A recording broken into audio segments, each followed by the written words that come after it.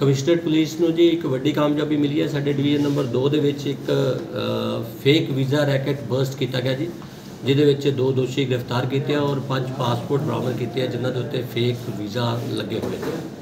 ਔਰ ਇਹਦੇ ਵਿੱਚ ਜਿਹੜੇ ਦੋਸ਼ੀ ਆ, ਉਹਨਾਂ ਤੋਂ 26 ਲੱਖ 70 ਹਜ਼ਾਰ ਦੀ ਮਨੀ ਵੀ ਬਰਾਮਦ ਕੀਤੀ ਗਈ ਹੈ, ਜਿਹੜੀ ਕਿ ਇਸ ਪਰਪਸ ਲਈ ਲਈ ਗਈ ਸੀ। ਤੇ ਬਾਕੀ ਤਫਤੀਸ਼ ਜਾਰੀ ਹੈ। ਕਿੰਨੇ ਦਿਨ ਦੇ ਰਿਮਾਂਡ ਤੇ? ਇਹ ਪੰਜ ਦਿਨ ਦੇ ਰਿਮਾਂਡ ਤੇ ਸੀ। ਕਿਸ ਤਰ੍ਹਾਂ ਕੰਮ ਕਰਦੇ ਸੀ? ਇਹ ਜੀ ਆਪਣੇ ਲੋਕਾਂ ਤੋਂ ਏਜੰਟਸ ਤੋਂ ਜਿਹੜੇ ਲੋਕਲ ਏਜੰਟਸ ਹੈਗੇ ਸਾਡੇ ਇੱਥੇ ਉਹਨਾਂ ਨੂੰ ਅਪਰੋਚ ਕਰਕੇ ਉਹਨਾਂ ਤੋਂ ਵੀਜ਼ਾ ਵੀ ਤੁਹਾਨੂੰ ਵੀਜ਼ਾ ਲਗਵਾ ਕੇ ਦੇਵਾਂਗੇ। ਉਹਨਾਂ ਨਾਲ ਗੱਲਬਾਤ ਕਰਕੇ ਤਾਂ ਉਹਨਾਂ ਤੋਂ ਪਾਸਪੋਰਟ ਲੈ ਜਾਂਦੇ ਸੀ ਵੀਜ਼ਾ ਲੱਗਿਆ ਹੋਇਆ ਦੇ ਜਾਂਦੇ ਸੀ ਪੈਸੇ ਲੈ ਜਾਂਦੇ ਸੀ। ਉਹਨਾਂ ਨੂੰ ਨੋਮੀਨੇਟ ਕੀਤਾ ਜਾਊਗਾ ਜਿਹੜੇ ਲੋਕਲ ਕੋਈ ਨਾਮ ਆਣਗੇ ਜੀ ਵਿੱਚ ਉਹਨਾਂ ਨੂੰ ਡੈਫੀਨਿਟਲੀ ਵੈਰੀਫਾਈ ਕਰਾਂਗੇ। ਕਿਹਦਾ ਕਿਹਦਾ ਕਿੰਨਾ ਰੋਲ ਹੈ ਕੀ ਹੈਗਾ ਉਹ ਸਾਰੇ ਵੈਰੀਫਾਈ ਹਾਲੇ ਤੱਕ ਟੋਟਲ ਕਿੰਨੀਆਂ ਨੇ ਨੋਮੀਨੇਟ ਹੋ ਚੁੱਕੇ ਨੇ? ਨਹੀਂ ਹਾਲੇ ਤੱਕ ਇਹ 'ਚ ਕੋਈ ਨੋਮੀਨੇਟ ਨਹੀਂ ਹੋਇਆ ਜੀ। ਦੋ ਬੰਦੇ ਗ੍ਰਿਫਤਾਰ ਕੀਤੇ ਹੁਣ ਤਫਤੀਸ਼ ਚੱਲ ਰਹੀ। ਹੈ। ਅੱਗੇ ਚੱਲਾਂਗੇ ਜਿਵੇਂ ਜਿਵੇਂ ਮੂਵ ਹੋਏ ਠੀਕ ਹੈ। Thank you